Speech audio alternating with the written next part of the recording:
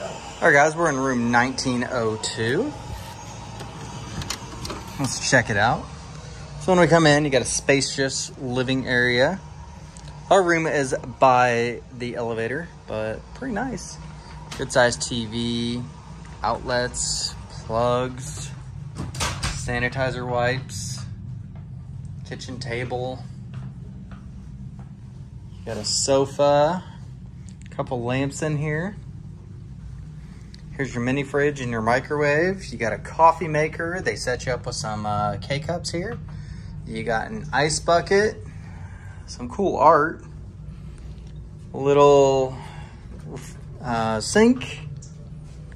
Here is the bathroom. Ooh, big bright mirror. They have uh, body lotion and hand soaps here. Commode.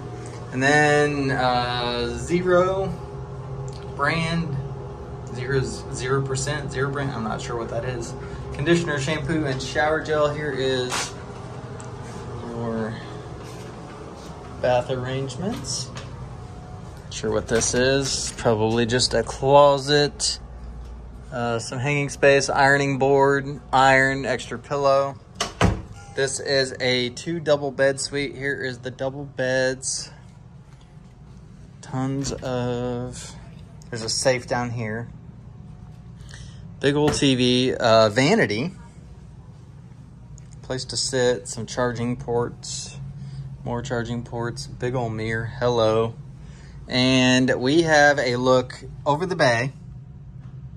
Here's a look out of our window. Um, this is the Tampa Convention Center right here.